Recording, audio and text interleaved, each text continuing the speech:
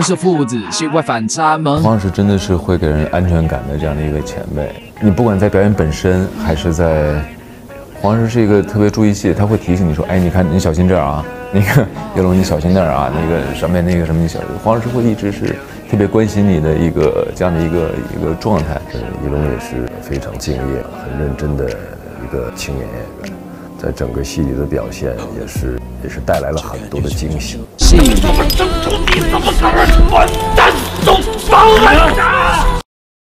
抖音。